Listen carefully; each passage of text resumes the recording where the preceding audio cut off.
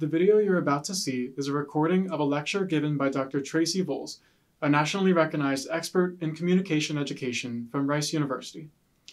As you watch her lecture, it's important to note not only what she presents, but how she presents it. Try to recognize the ways that she uses her own suggestions and techniques to give a more effective presentation. By taking the advice that Dr. Volz provides, you'll find that you can become a more effective communicator and a more successful engineer.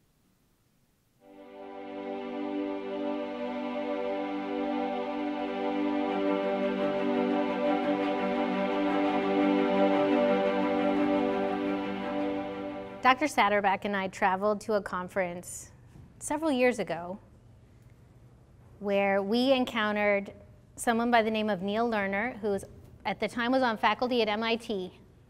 And he said something that I have never forgotten, and this was years ago.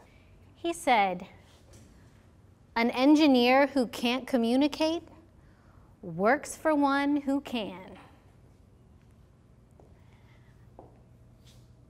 As an engineer, it's imperative that you become skilled at expressing your ideas clearly and precisely and persuasively. You will need those skills when you attempt to express your ideas and convince people on your team that you have a suggestion that's worth pursuing you will need those skills to get a job. You will need those skills to get promoted, to get funding and resources to support something you want to do, and even in some cases, to call attention to a really serious problem that could have deleterious effects on a population of people. As an engineer, you can never be too good at communicating. And it's, I know that some of you are coming into this class very accomplished at giving presentations, but some of you may have shied away in the past from giving talks because it's something that makes you feel uncomfortable, that you're going to be put on the spot and judged. Now is the time for you to not only develop skills that you may not yet possess, or to refine skills that you have and take them to the next level. Because I would like all of you to leave Rice as high impact presenters. So, what is it that high impact presenters do? They do five things, and I'm going to cover all five of these in the next hour. First, they develop a communication strategy, and that's related to audience and purpose and context. They organize an argument, as you pointed out a moment ago. That's so crucial. They convey confidence through their delivery. They integrate slides to supplement the message, right, to enhance the message, to emphasize the message, not as some kind of script or some kind of crutch. And last, they handle the questions with ease.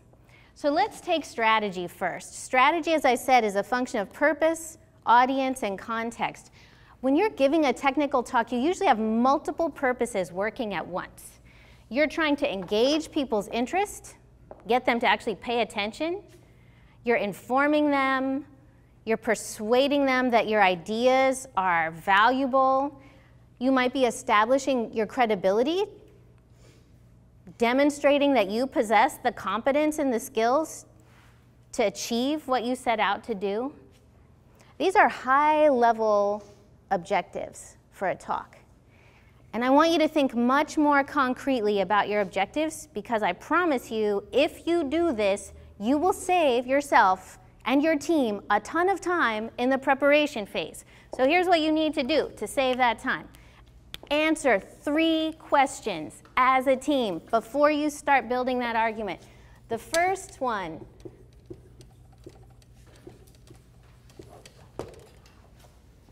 When our presentation is over, I want the audience to remember blank. And you should have about three key points. What do you want people to remember? Second question When I'm done speaking, I want the audience to do what? What action do you want them to take? And third, when I'm through speaking, how do you want the audience to feel? How do you want the audience to feel? And you might be thinking, oh, really? This is a technical talk in a class? Feelings? I sometimes see some eye rolling when I mention this. But the reason that feelings are important, the reason you need to connect with people, either to get them enthusiastic about your idea, to, to generate a sense of concern or anger about a problem that exists in the world, because Emotions drive actions. So you need to think in advance about what your key points are, what do you want people to do when you're done, and how are you going to get them to do that based on the way you leave them feeling at the end of your talk. If you work on those three questions, you will not make 65 slides to show in a 13 minute talk because you will be able to narrow down your message much more efficiently and spend more time focused on the key points instead of extraneous material. You also have to keep in mind who your audience is. What are their backgrounds? What do they already know about your topic? Why should they care? What are their yes but questions that you need to take on? I'll give you one example of a way in which criteria influences decision making. So a few years ago, I was coaching a chemical engineering student here at Rice who'd done an internship at an oil and gas firm over the summer. At the end of the summer, he needed to give a presentation about what he had contributed over the course of the summer. He was very excited to share with his manager and his department this innovation he had introduced in one of their core chemical processes. And he had done this in a lab, right? It hadn't been scaled up to an industry level uh, application. But he had proof of concept. So he was going to present this at the end of the summer. And he came in and he hit us right up front in the practice session with this idea, this innovation. And I said, Tell me about the primary decision maker in the room. Tell me about your manager. And he said, "Oh, all summer it's been a struggle to get this to get my manager to let me do this because my manager tends to be a really compliant and conservative in his thinking and he's worried that, you know, if I use this special innovation in our process, it's going to mess up things downstream." And I said, "Knowing that, do you think that it's an effective strategy to lead with the innovation. What do you all think about that? Does that seem like a good idea? I see some heads nodding no. Right, because if you lead with something that someone is resistant to, they're likely to become even more resistant and potentially tune out. So that's a situation where the intern could still talk about the innovation, but the way that it was situated in terms of context and argument needed to be adjusted. He needed to lead with some research that showed that the kind of innovation he had developed was already, it had already been published in the literature elsewhere, and he had taken that process and made some adjustments that were unique to his particular application. Then, when he got to the part about that innovation, the manager would feel much more comfortable. So think carefully about your audience and the criteria they use. In engineering, they use a lot of criteria, safety, innovation, economics. There are many criteria to keep in mind when you're thinking about how to pitch your design. In a short talk, three or four key points is about all you can successfully convey.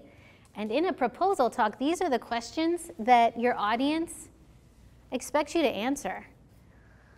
What's the motivation for the work? Why is it necessary in the first place? What particular problem are you working on? What engineering problem are you tackling? This can be different from the motivation. What does the design space look like? What's the state of the art? And in a design talk, you only say a few words about the state of the art and you emphasize why it is inadequate to build up the need for your solution. What are your criteria? And these need to be quantitative. Don't get dinged on your presentation because you failed to use quantitative design criteria. In your brainstorming sessions, what kinds of things did you consider? Again, you can't spend a lot of time on that if you only have 13 minutes. Instead, you need to focus more on which solution you're moving forward with and what the features are. Dr. Saterbak mentioned early on to talk about what the features are and how it works. Something that she didn't say that I can tell you after grading with her for many years is that you need to justify the decisions. Say why you're doing what you're doing. That's most important to engineering arguments. Why are you doing? What's the basis for a decision? Did you just randomly choose something? Is it based on research? Is it based on testing? What's the basis for your design decisions? What are your plans or your timeline for going forward? And last, and it's not up here, what are the implications or the benefits of your particular solution? What's its impact going to be? And sometimes when you're wrapping up, you want to tie the impact back to the motivation that you started out with. So those are the key questions people will expect you to answer. But once you have answers to those questions, you got to think about how to organize information. And two strategies that are common in practice sessions that are hard to pull off effectively are chronological narratives and inductive. So chronology is essentially a sequential narrative. Let me show you an example of what that looks like in an ENGI 120 talk. Take a look at this slide. You'll notice if you bother to read all this text that it leads off with, oh, we had a deadline of three weeks and we were using Mindstorm kits and we split arm into components and then we did this and then we did that, right? This is chronology. This is the team reproducing their design process.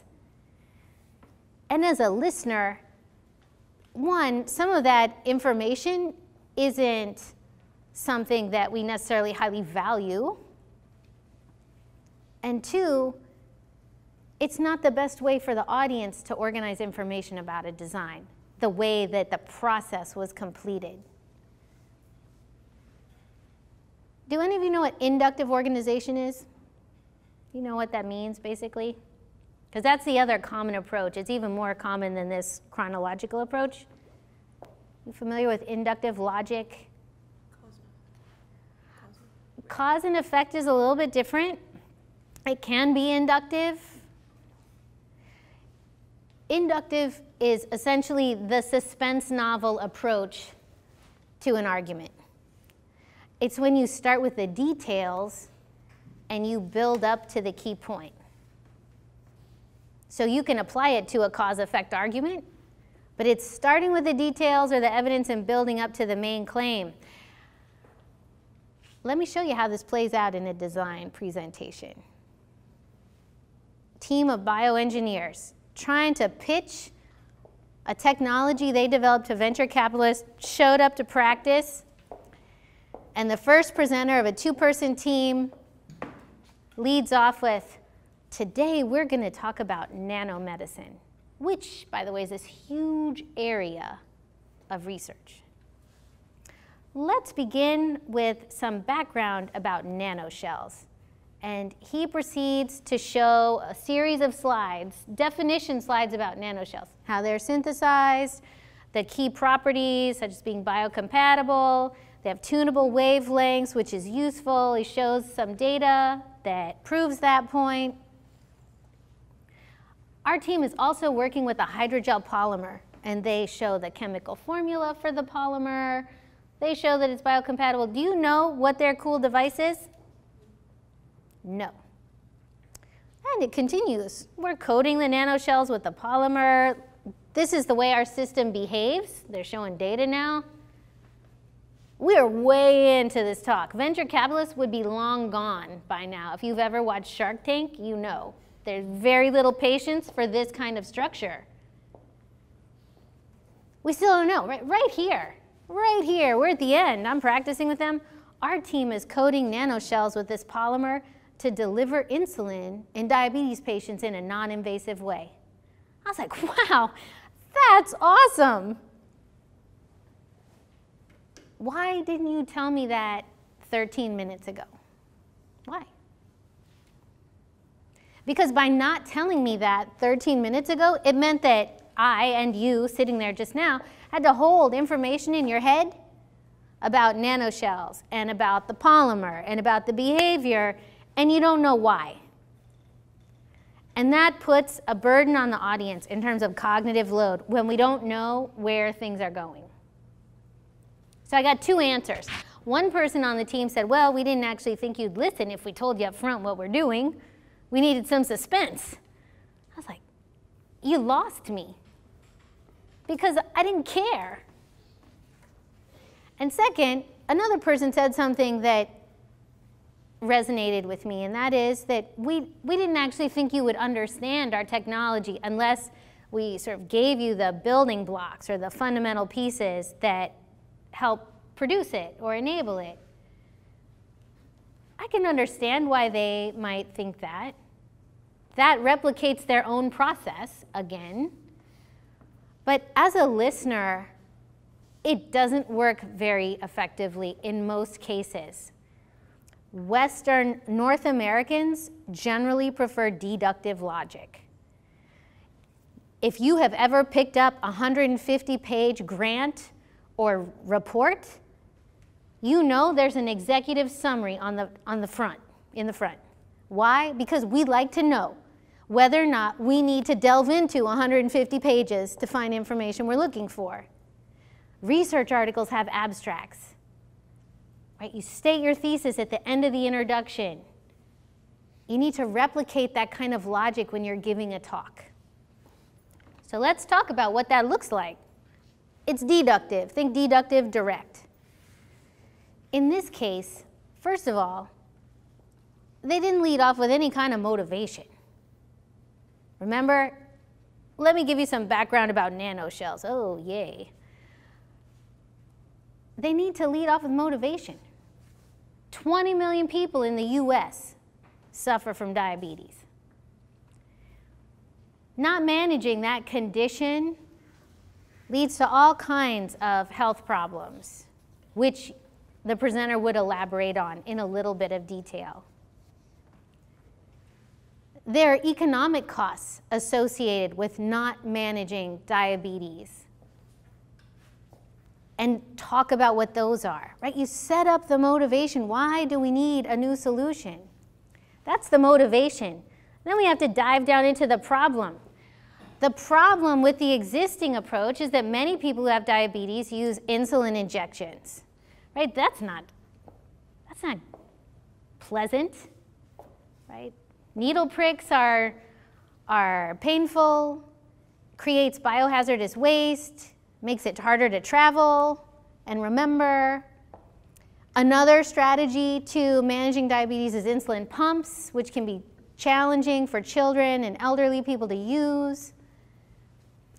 And as a result, we see that these chronic conditions have long-term negative effects on individuals' health and quality of life, which is why our team has developed a new solution we're coating nanoshells with a hydrogel polymer to deliver insulin in a non-invasive way.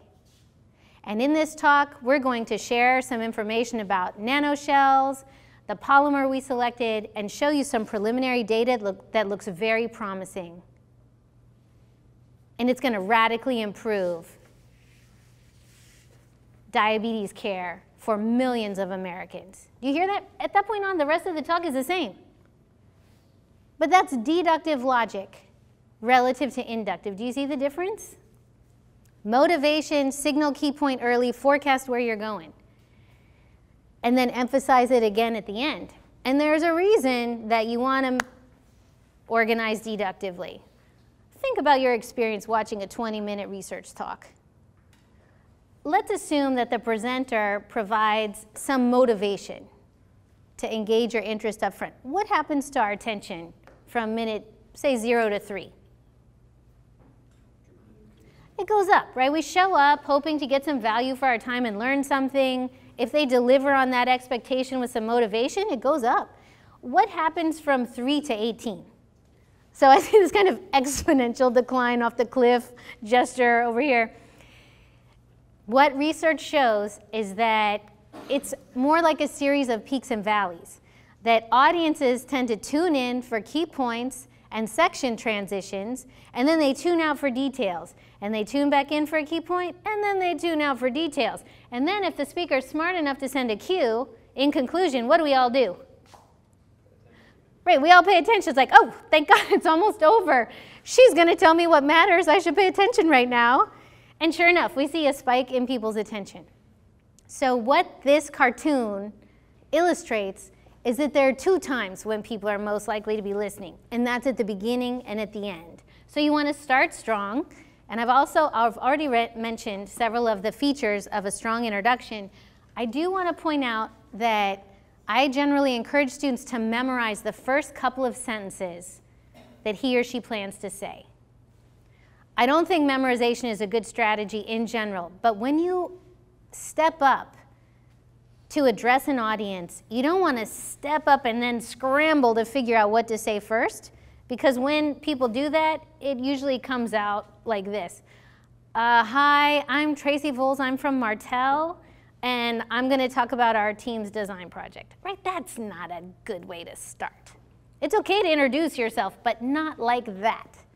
So craft a good, a good introduction. Don't lead off with an apology. Don't get up and say, oh, we've really had a hard time meeting with our clients, so we don't really have any data to show about our solution. You got to go with what you got. You want to be clear and persuasive and go with what you got. Today, I'm going to talk about that's not a good opening sentence. You can do better than that. Now I'm going to show you an example of a 120 student who did better than that. This is Alex Nunez Thompson. Do any of you know him? All right. So Alex was presenting on behalf of his 120 team. And I want you to, to pay attention to two things in this clip. I want you to think about what he does to engage your interest in his team's design problem and what he does to establish his credibility. How do you know you can trust him? Members of my group here today are Kyle Giovini, Nuwan Haraf, Robert Godivo, and Michael Saad. And today we've been working in conjunction with Rice University, the Rice Center for Engineering Leadership, and the Shell Corporation to bring you this presentation. So as I begin, I want you to take a look at these two bottles of water. Now can you tell me the obvious difference between these two? Yeah. So for those of you that can't see the back, I have a bottle of that's clearly dirty water and a bottle of clear water. Now Michael, if I had asked you before this presentation started which one you would rather drink, how would you have responded? The clear water. If I had asked anyone in this room which water they would have rather drank, they probably would have picked the clear bottle. It Seems like an obvious choice. But what you may not know is contained inside of this water, there could be thousands of hydrocarbons that when ingested could have such adverse health effects as nausea, vomiting, diarrhea, liver failure, and can ultimately result in your death. Now, hydrocarbons are the primary constituents of gas stations. So, all around the world, gas stations run the risk of these harmful contaminants seeping deep into the groundwater. Now, what's the big deal about this? Well, humans actually use about 80% of all of our drinking water. It all comes from the ground. So that means that somebody that has their very own well attached to their house for their drinking water, they could be pulling up these harmful contaminants, essentially putting them at risk. So that's why corporations such as Shell have to go to these stations, they have to dig deep into the underground, and they have to extract anywhere from 9 to 10 gallons of water. They then take only a very small sample of this and send it off to a lab to be tested for hydrocarbons. But what about the other 9 to 10 gallons? Well, that has to be contained, transported off-site to a treatment facility, whether or not there are any contaminants in it, and it has to undergo extensive treatment, which is costly and inefficient. So what we've done is we've created a goal to create a cost-effective on-site treatment system that will both filter out the hydrocarbons and safely evaporate the water. So what did Alex do to engage your interest in his team's project? How did he hook you? Yes? You gave an example that was uh, personal and affected the audience directly. The example of the water? Right, it was something you could relate to, and he personalized it by asking an individual or two individuals in the class. And something else about that particular example made it especially effective, and that is that he used a strategy called dissonance. Dissonance is a fancy way of saying myth busting. He held up the clear water, and the obvious choice is to choose to drink the clear water.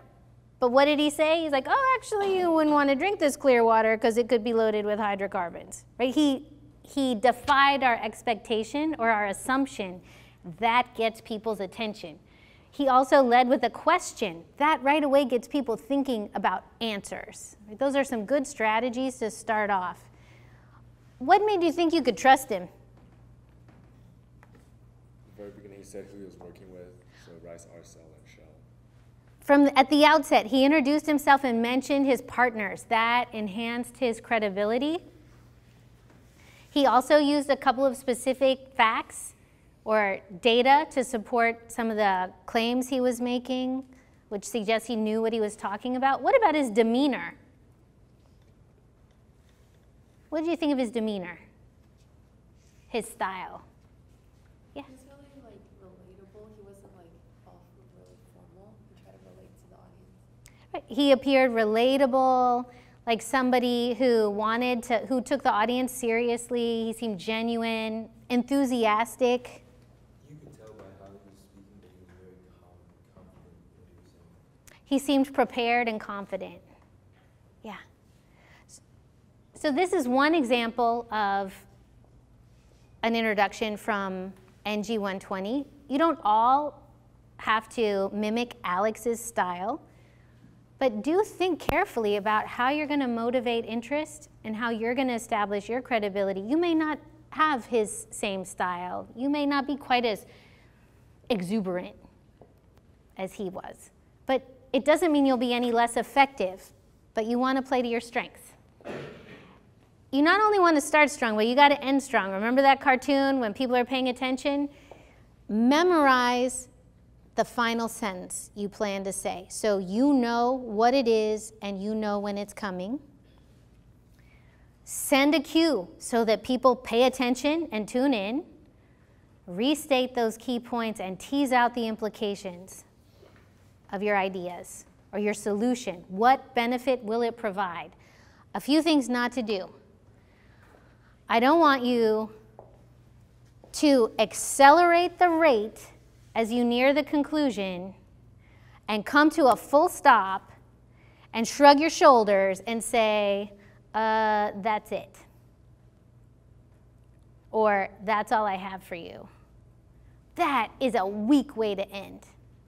And I'm going to tell you why that happens. Let's assume the speaker did memorize the last sentence. Sometimes they don't do that. So they're winging it as they go, and they don't actually know when they're done. But even somebody who's prepared, if you don't carefully manage the rate at the end and slow down and bring your voice down on that last word, the audience will not pick up the oral cue that you're ending.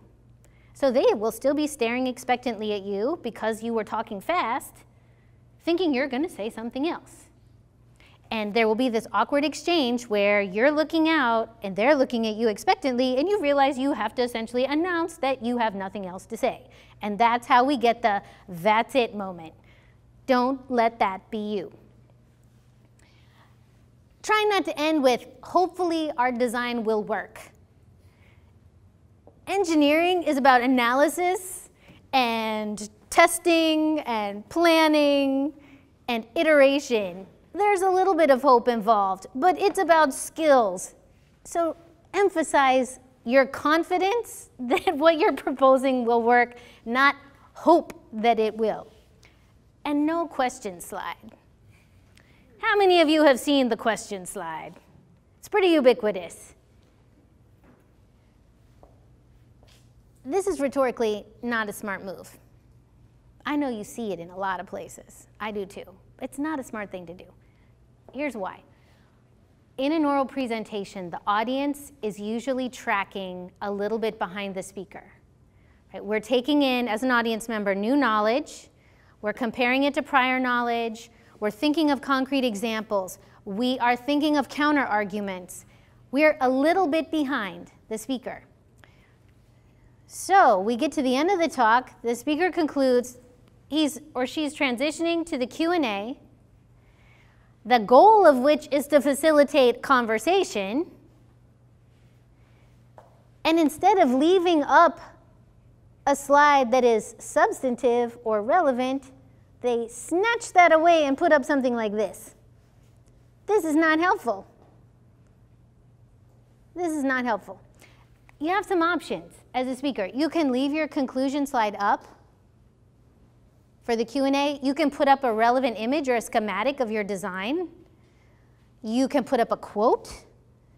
Think about what is going to be powerful and support the audience in formulating questions. If you don't want to do any of those things, then just go to black and have the attention on you. But you don't need this. This is not helping. When you put up a slide like this as a speaker, this, you're deferring to your own slide. Your slide is suddenly asking for questions. You need to ask, and you need to be in control. Don't overload your conclusion slide with a ton of words. Because when you do that, people read. And that means right in the moment when you're most invested in heightening the emotional connection with the audience, you lost them. Because they can't read your slide and listen to you at the same time. You do need to include an acknowledgement slide. Alex, in the previous video clip, acknowledged some of his support at the outset. You can also acknowledge support you've received at the end. If you leave this for the end, again, this is not a great thing to leave up for the Q&A. So you'll want to have something follow this that is useful for the Q&A. If you have a long list of people who have helped you, you can list them on the slide, but do not read each person's name individually. Think about ways to group individuals into classes and refer to the slide, but don't read every single person's name because it diffuses the energy as you're closing. And the last point I want to make about argument has to do with transitions, and this is important. For me, the difference between a good talk and a great talk is often in the quality of the transitions. Transitions provide the logical glue for the audience. They connect the points, the dots. What I see frequently happen is that a team or a student will design a deck of slides and it's it represents all kinds of implicit logic. Right? You have thought as the designer of that deck about the sequence of information from one slide to the next, you've thought about the sequence of information on a particular slide. It's all there in your head. But what very few speakers do is make that logic explicit for the audience. And they fall into those weak cues that you see listed on the left. And another thing, so, results, in addition, next. That's not helpful. So as a final step in your preparation, take the time to write out the transitions from slide to slide. It will make a huge difference. And in the act of doing that, you may discover that the order that you thought would work doesn't actually yield smooth segues from one point to the next. And you have the opportunity at that juncture to rearrange information. Whereas if you don't go that extra step, you get up here in the front, and I bet you've seen talks where people are going forwards and backwards through their slides because things aren't in the order that they actually need to be in to explain something clearly. Figure that out in advance by writing out transitions. So at this point, we've talked about the way in which high impact presenters develop a strategy and organize an argument. And now I'm going to have you guys transition to thinking about your delivery of the message. Because what our studies show in communication is that audiences are more likely to remember your style. They're likely to remember more about your facial expressions, your tone of voice, the way you use your hands, than your key points. Over 85% of what audiences recall has to do with delivery.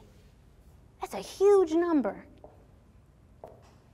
A study just came out of presentations that were evaluated by funding agents, both government funding agencies and venture capitalists. And just by watching video clips and listening to the voice quality and the gestures, they made decisions about funding. It was a published paper, a really important study. I can't emphasize this enough, how important it is that you generate a professional, effective ethos when you're interacting with people. And that's a function of your stance and movement, your eye contact, your voice, and your hands. We've talked about strategy, argument, and delivery. I'm going to quickly transition to some slides about slide design. And I'm going to fly through these examples. Slides should function like billboards. This is the words of my colleague June Farrell, who retired. One message per slide. And yet,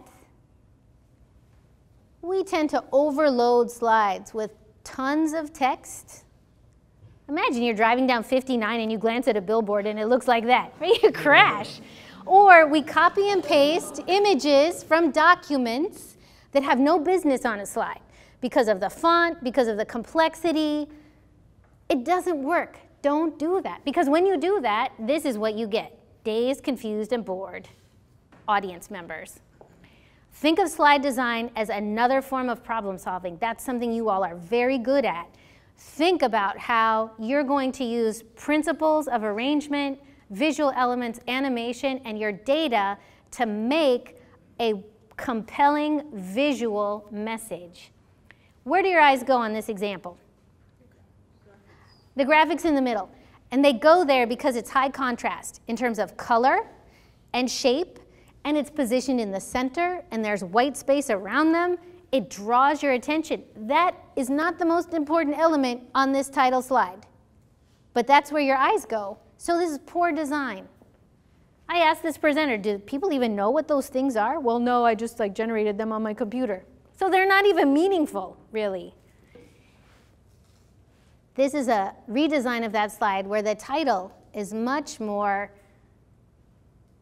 present or it draws much more attention than in this example where it just sort of floats off the top. Background should be simple. You don't have to use white. It doesn't have to be plain white, but don't get carried away with busy templates in PowerPoint or Keynote or Prezi. Allow your data to pop, not the template you chose. Text, choose a font that's legible. Use large font sizes. Succinct bullets that are short phrases, not full sentences. When you design lists, Try to make the items in the list parallel because it aids quick scanning when people are reading your slides.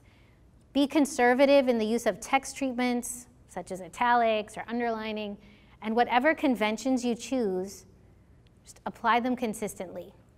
So for slides, we recommend using a sans serif font. There are many to choose from. The reason for that is that in a sans serif font, like those on the left, the shaft of the letter tends to be uniform, which means that when you view it from far away, or if you're standing six feet away from a poster, it's easier to view from a distance than a serif font, like those shown on the right, where there are thin parts to the letter and thicker parts. Try not to go below 18 point font when you're designing slides. Use the title bar on the slide to convey information. Don't use a generic placeholder like problem. We could slide a title like that into any one of your team's talks. Try to convey substantive information in that title bar because it frames people's reading of what comes below. This is a lousy slide. What are some of the things that are wrong with this example? Serif serif font. Actually, it's got two different kinds of fonts, but yes, a lot of serif. What else? It had full sentences Long sentences, it's not consistently formatted in the capitalization or the punctuation. Too much text. You've read my mind. One thing you may not have noticed is that it doesn't have a hanging indent. Again, hanging indents aid scanning. So by that I mean that this A in access should really be underneath the I in it. And if you move the tab on the ruler line when you're designing slides, you'll be able to do that. This is a redesign of that slide. You can see they cut down so much of the text that they actually had room for a picture that shows what telemedicine is. When you're choosing colors, you want to use high contrast colors. They tend to be located across from one another on the color wheel. One exception to that is don't pair red and green. That's not a good combination for those who have red-green color blindness. Choose colors that are appropriate for the situation you can use color for emphasis to highlight something important on a slide. You can use it for coherence. Think carefully about the way you use color so that you don't end up using it like this. Yellow on white is a bad combination. Red and fuchsia on blue is a bad combination. Can you tell that the up and down arrows are color coded in that example? No, because they picked brown and dark blue which are not high contrast against light blue. Right? These palettes work in combination. If you use CAD drawings in your presentation, they can add a lot of value, but you can't just have gray nondescript blobs because that doesn't add value. So beware of what I call the 50 shades of gray in your CAD drawings. Visuals that you use need to be high resolution, cropped, so the focal point is clear. If you need scale bars, include them. And label things that are important in your images, like you see here. When it comes to displaying data, use a lot of the landscape on a slide for data display. And we'll reinforce this in a talk later in the semester.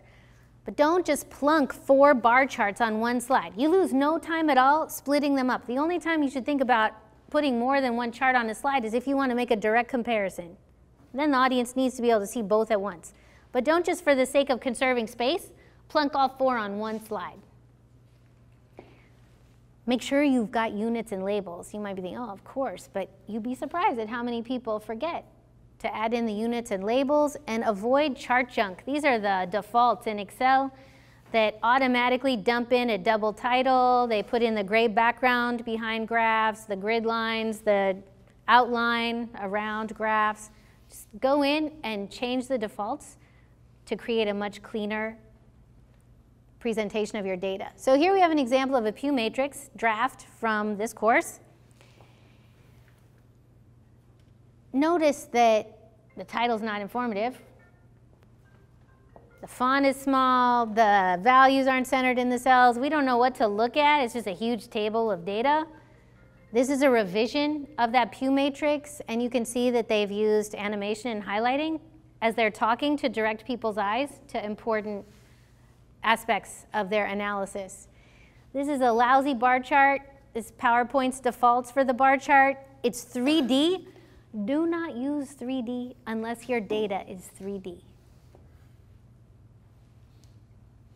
It gives you this border automatically. It chooses light blue on white, which is low contrast. When you design a bar chart, the bars should be thicker than the spaces between them so that people's eyes go to the bars. More values than we need on the Y. This is a revision of that same data. And one more quick example before you look at your peers' graphs. Here you see a line graph, and there are all kinds of problems with this. We got the Excel title, the border, two legends, all the things I mentioned as chart junk. They forgot the units. This is a revision of that data. So before, after. I want to wrap up with just a couple of words about Q&A. I got five points, and I'm going to go through them very fast, so don't pack up yet. When the Q&A starts, Listen to the whole question. Don't jump in and interrupt the questioner. Be respectful, reflect on the question, and restate or repeat it so that everybody in this room hears it, which is not easy to hear in this room. Second, when you go to answer, lead with the general, lead with the main point or a thesis. Use that deductive reasoning to answer. That is a very hard skill to master. Lead with the general, not the details. Provide the details after. Watch your body language, because this is what happens in the Q&A. Start watching. And now I'd like to take your questions and comments. People back up, they throw their arms across their chest. Just stay open and approachable. This is a chance for you to elaborate and clarify and recommend. It's a good thing to have a Q&A. It's not something to fear. So don't show your fear by doing this. And then, last, wrap up well. In a Q&A, you can be taken off on some crazy tangents. People can ask off-the-wall questions. And the Q&A is the audience's final impression. So bring people back on message and emphasize your key points at the end.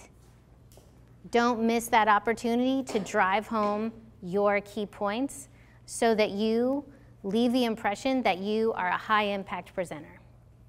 I'm going to make all these materials available to you through OwlSpace. You'll have a chance to practice these skills, and I hope that they bring up everybody's performance in this class when you watch the presentations in another week.